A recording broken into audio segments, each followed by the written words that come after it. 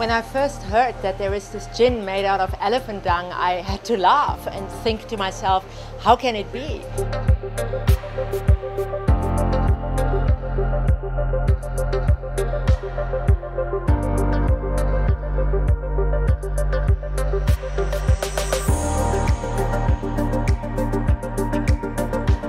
And so they are perfect for, for extracting all the botanicals out, out of what they eat. And they, they are very selective browsers and they, you can imagine they, they, they get to choose the, the best leaves and the best fruits and the best flowers and the best plants.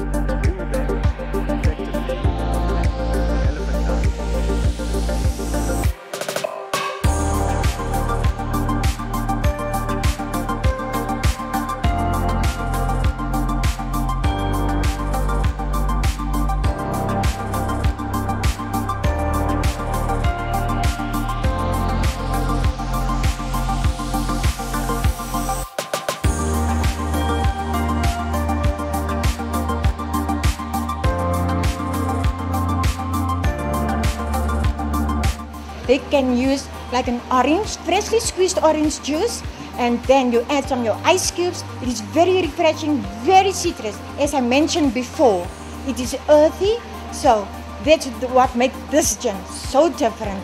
Learning about the process of collecting the dung in one of the game reserves here in South Africa and the process of cleaning the herbs that elephants have collected, I was amazed.